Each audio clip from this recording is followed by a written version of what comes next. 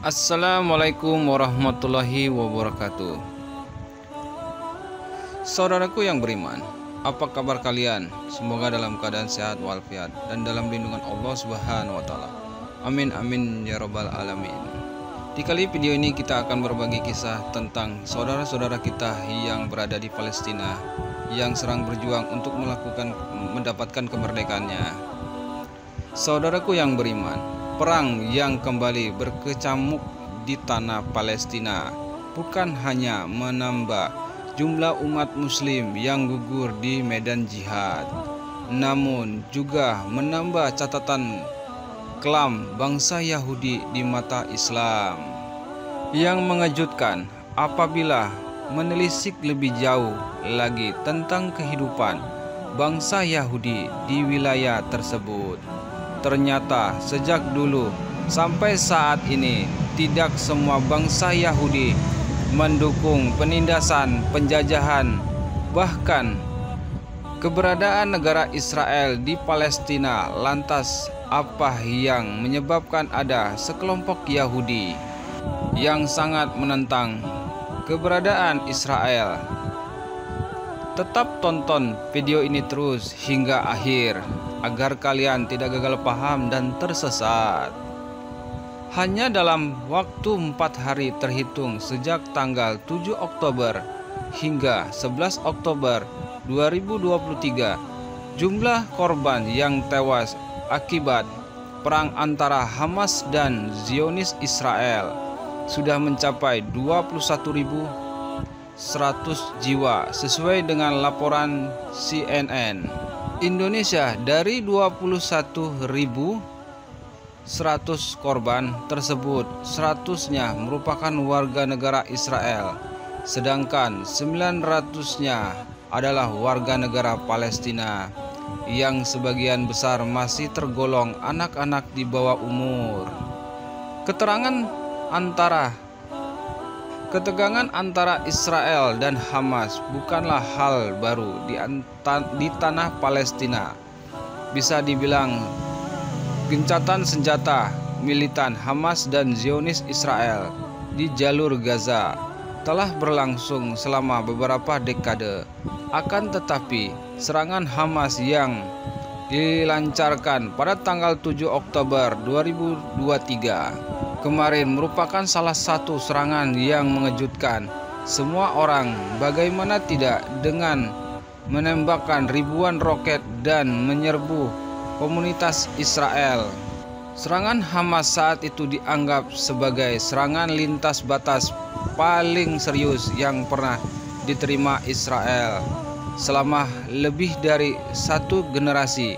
Meski serangan Hamas terdengar dan terkesan brutal, namun serangan itu tidak sebanding dengan penderitaan warga Palestina yang telah dijajah, ditindas, bahkan dipenjara berpuluh-puluh tahun oleh Zionis Israel di tanah mereka sendiri. Padahal apabila kita membuka manuskrip sejarah Palestina, percayakah kalian bahwa dulu Muslim, Nasrani, dan Yahudi hidup damai di masa kepemimpinan Islam. Dalam satu waktu ketika pemeluk agama Samawi bisa berjalan bersama menikmati lorong-lorong kota Yerusalem tanpa ada tentara yang berkeliaran. Sayangnya semua berubah saat Inggris mengirim pasukan bersenjata untuk menyerang dan menjajah Palestina. Di bawah kekuasaan Inggris, gerbang Palestina dibuka selebar-lebarnya, memungkinkan untuk pengungsi Yahudi yang dipersekusi yang tak diterima oleh negara-negara Eropa.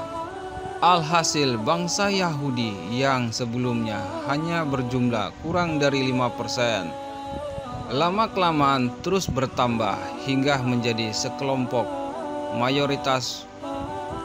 Parahnya lagi, setelah umat Yahudi diusir dari negara Eropa, telah menjadi mayoritas di Yerusalem.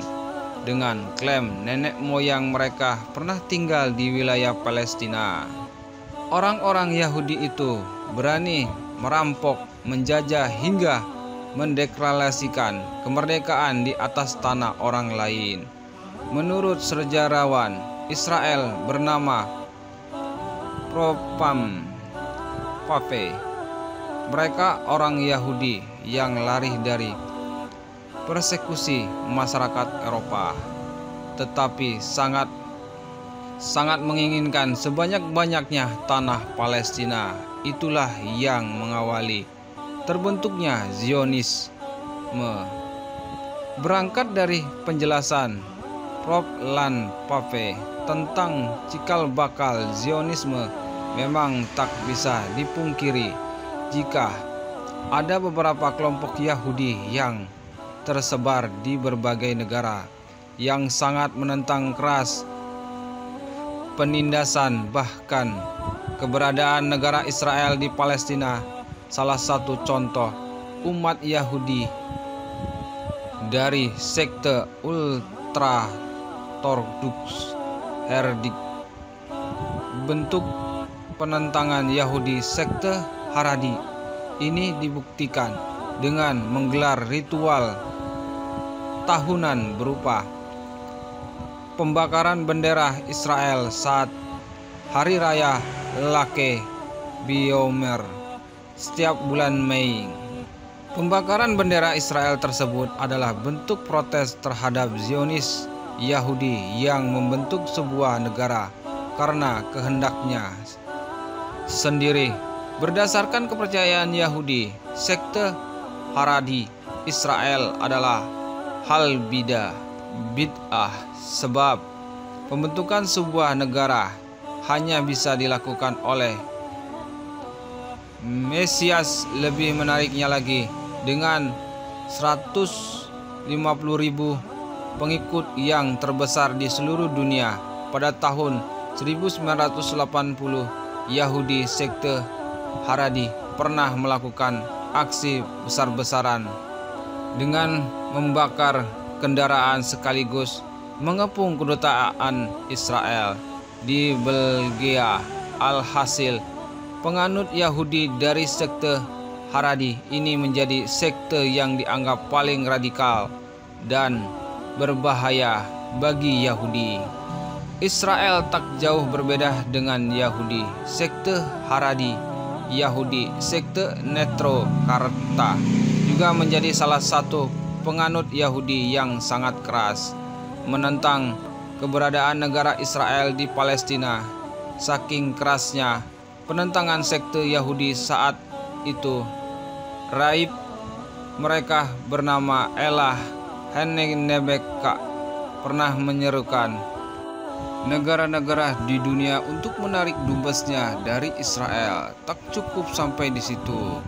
Sebagai penganut Yahudi sekte Nak Nekturekerta memiliki hubungan yang baik dengan dua negara Islam yaitu Islam Iran dan Palestina.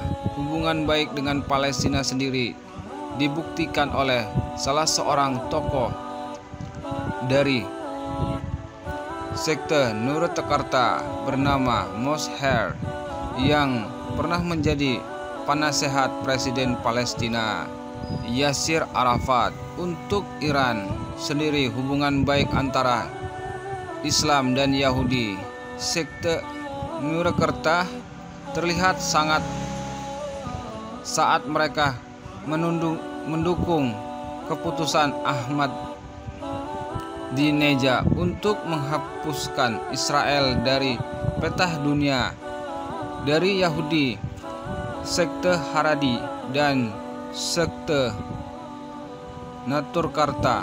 Penting untuk dipahami bahwa Yahudi tak bisa dipukul rata sebagai penindas. Terlebih lagi sejarah sudah membuktikan jika sebelum Inggris menjajah Palestina, Yahudi dan Islam bisa hidup dengan damai. Di saat ada sekelompok umat Yahudi yang menentang dan mengetuk keras segala bentuk kekejaman yang dilakukan oleh Israel mungkin kalian tak akan percaya jika mendengar bahwa pemerintah Arab Saudi yang notabene-nya merupakan negara Islam justru melakukan hubungan politik untuk kerjasama dengan negara yang jelas-jelas menindas umat muslim. Bisa kalian nilai sendiri saja. Arab Saudi merencanakan program Saudi Division 2030 negara yang dipimpin oleh Raja Salman itu mulai membuka diri demi melepas ketergantungan perekonomian. Negara pada minyak untuk mewujudkan itu Arab Saudi mulai menentang kehidupan di dalam dan di luar negeri nya termasuk mencekang normalisasi hubungan dengan musuh bubuyutannya Israel memang tak bisa dinaibkan Arab Saudi dan mayoritas negara-negara Islam telah menganggap keberadaan Israel di Yerusalem tidak sah. Semua negara Islam juga sepakat kalau Palestina lah yang lebih berhak berkuasa di tanah Yerusalem. Tidak sah, semua negara Islam. Islam juga sepakat kalau Palestina yang lebih berhak berkuasa di tanah Yerusalem. Akan tetapi dilansir dari laman CNN di tahun tersebut, Yaman sedang dilanda perang saudara antara kelompok pekerjaan Yaman dengan PR Republik Yaman. Usut punya usut. Perang ini ternyata tak terba sebatas tentang konflik internal Yaman, melainkan ada kepentingan negara-negara lain, awalnya negara seperti Mesir dan Uni Soviet, memberi dukungan kepada pihak yang ingin membentuk Yaman sebagai negara republik tak disangka-sangka. Dukungan Uni Soviet itu membuat Amerika Serikat sebagai bentuk perlawanan negara Paman Sam akhirnya mengungkap Arab Saudi untuk membelot segala bentuk sekaligus bantuan ini Uni Soviet ke negara Yaman. Meski demikian, Arab Saudi termasuk negara yang kurang dengan persenjataan. Karena itu, untuk memperlancar aksi, Arab Saudi melakukan kerjasama dengan anak kesayangan Amerika Serikat yang lain, yaitu Israel.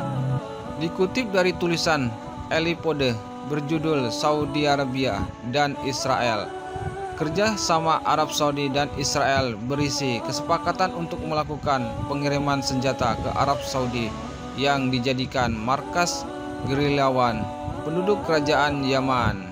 Yang paling menjelaskan dengan hubungan Israel dengan Arab Saudi di mana sejumlah negara Timur Tengah tak terkecuali Arab Saudi menantang menandatangani perjanjian Abraham Accords sebagai bentuk dibukanya hubungan diplomatik dengan negara Israel. Memang dalam setiap wawancara Raja Salman sering membuat statement mengecam tindakan Israel kepada rakyat Palestina.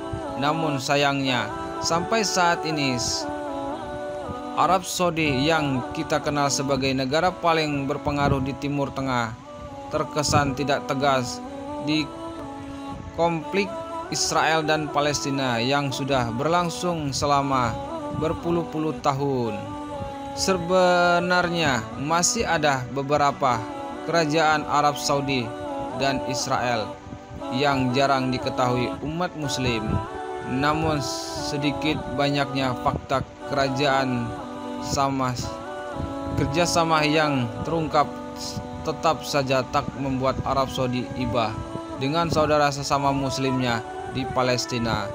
Saudaraku yang beriman, dari beberapa ulasan di sepanjang video ini kira-kira menurut kalian mana yang lebih aware terhadap isu kemanusiaan Yahudi dari sekte Haradi dan sekte Natur Karakta atau pemerintah Yahudi pemerintahan Arab Saudi wawalam wisawab. Terima kasih saudaraku yang sudah menonton video ini.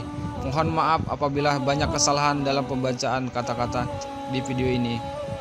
Salahnya banyak dari saya diri saya sendiri, benarnya hanya datang dari Allah Subhanahu wa taala. Sampai jumpa di video selanjutnya. Wassalamualaikum warahmatullahi wabarakatuh.